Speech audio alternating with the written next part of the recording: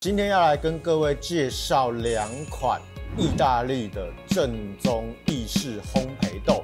我很喜欢去呃喝世界各地的咖啡，比如说日本，它会有呃炭烧的风味；非洲会有非常明亮的果酸；意大利的呃拿铁哦非常的好喝，还有意式的浓缩。台湾的话，因为嗯种茶的人非常的多，那其实台湾的豆子有很多是种茶的产地哦，改成种咖啡豆。所以，其实你仔细喝台湾的豆子，会带有一点点的茶感在里头。那再来就是海拔的高低对咖啡豆有哪一些影响呢？海拔越高就会冷，热温差大。那冷热温差大的话呢，它的生长速度就会比较慢，咖啡豆的含水率就会比较的高。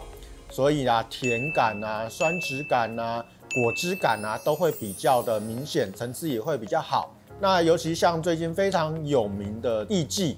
那它的生长速度就非常的缓慢，那在高山的地形来讲，它的一个风味表现上都会比较好。那在平地啊，越平的啊，它的一个生长速度就会越快。那越快的话，就会呃比较空一点点，好，那它就很适合拿来做所谓的呃商业豆。那意大利的豆子呢，到底有什么样子的特别呢？今天就来各位介绍。两款，在进入主题之前，记得先按订阅哦，这样子就可以收到我们最新的影片通知。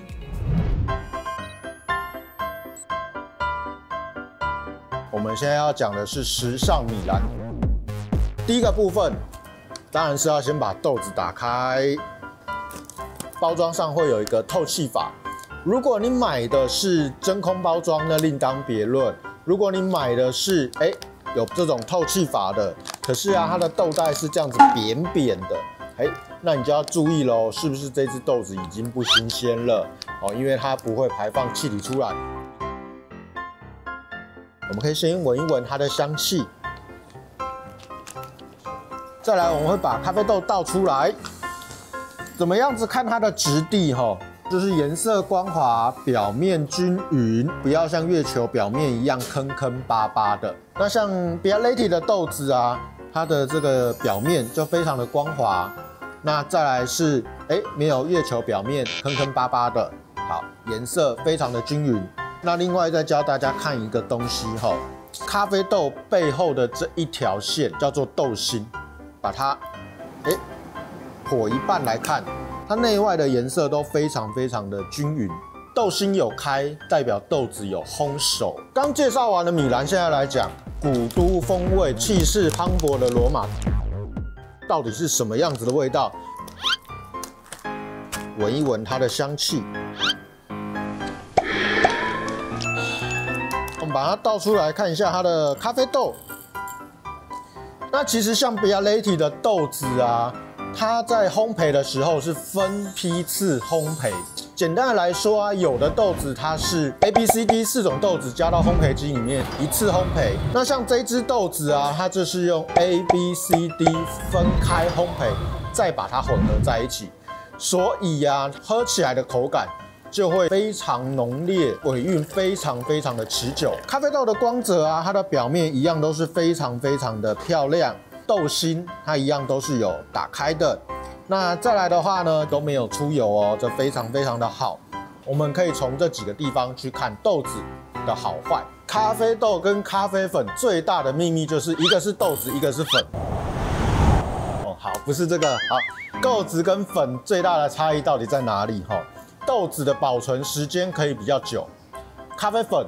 它比较容易失水气，那所以它的保存时间会比较短。像我们家的咖啡粉呢，为了要让它可以延长保存的时间，所以你可以看得到它是鼓鼓的，里面呢是填充氮气，你会先听到咚一声。那当然，咖啡粉打开之后必须要尽快的把它喝完。但是好处呢，就是你不需要再去额外买一台磨豆机。那而且啊，在意大利啊。他们烘焙好就直接做研磨，所以啊，它的大小颗粒非常非常的均匀，所以它不会有像我们在家里磨出来的颗粒不均的部分。那我们现在要打开来给大家看一下喽，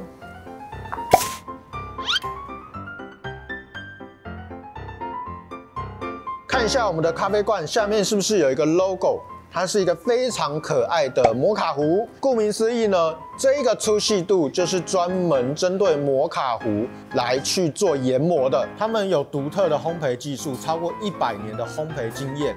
来去让咖啡的这个尾韵把它拉长。基本上咖啡豆跟咖啡粉的保存方式啊，需要注意到的就是温度、空气、湿度。